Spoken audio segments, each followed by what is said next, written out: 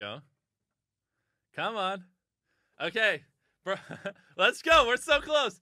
Oh my gosh, that was so I was wow. We did it. Oh, they're gonna throw confetti on me.